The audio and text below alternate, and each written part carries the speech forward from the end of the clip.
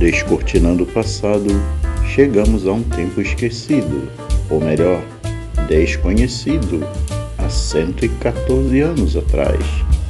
Costumes, hábitos, rotinas, enfim, tudo que mais acostumamos a fazer hoje é totalmente diferente do que nossos antepassados faziam.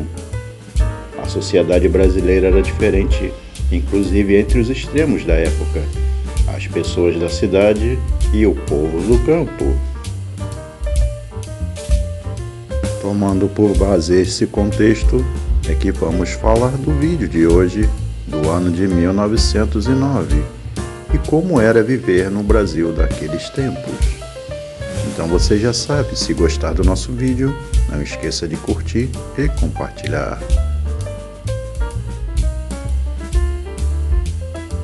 Dia 4 de abril, era fundado na cidade de Porto Alegre, Rio Grande do Sul, o Esporte Clube Internacional, um dos grandes campeões do estado gaúcho. No dia 14 de abril, o médico Carlos Chagas descobre uma doença parasitária tropical, causada pelo protozoário Cinotoplastida flagelado, o Trypanosoma cruzi, na cidade mineira de La Sance. No dia 14 de junho, o atual presidente brasileiro Afonso Pena morre e seu vice Nilo Peçanha torna-se o sétimo presidente da República. No dia 8 de setembro era assinado o Tratado do Rio de Janeiro entre o Brasil e a República do Peru, que estabelecia as fronteiras atuais do estado do Acre.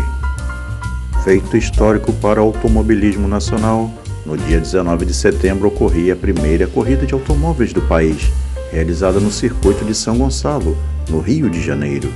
No dia 23 de setembro, o presidente do Brasil, Nilo Peçanha, cria o Liceu de Artes e Ofícios.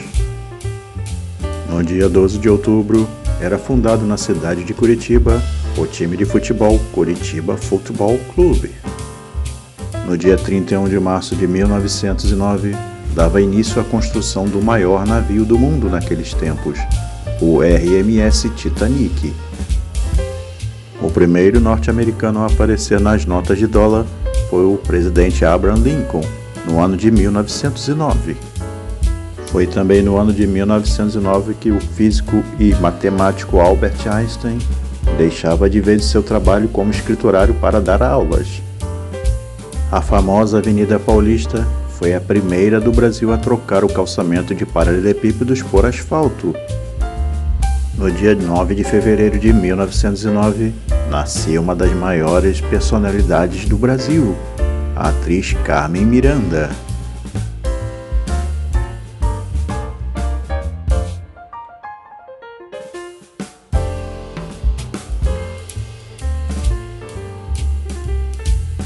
O Rio de Janeiro de 1909. A cidade se apresenta moderna. Prédios de arquitetura sofisticada ladeiam largas avenidas asfaltadas, por onde deslizam os primeiros automóveis. Ruas arborizadas, ventiladas, salubres. A noite chega cheia de luz da light. Bondes elétricos fazem o transporte urbano. A vida social se complementa em cafés chiques e confeitarias refinadas, como a Colombo. Uma beleza. Essa nova plasticidade da cidade inspirou Coelho Neto em 1908 a denominá-la Cidade Maravilhosa. O governo de Afonso Pena teve marcos importantes, tais como a implantação da política de valorização do café, a participação do Brasil na Segunda Conferência de Paz, em Haia, e a organização da Exposição Nacional comemorativa do centenário da abertura dos portos.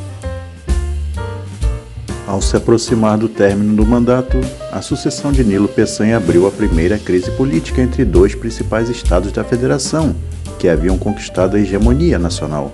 A disputa pela indicação do candidato à presidência da República levou São Paulo e Minas Gerais a romperem relações firmadas no acordo oficial da política, conhecida como Café com Leite.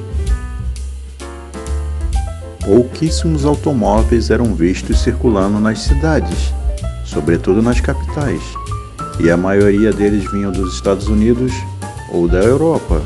Aqui vamos ver as fotos de alguns deles.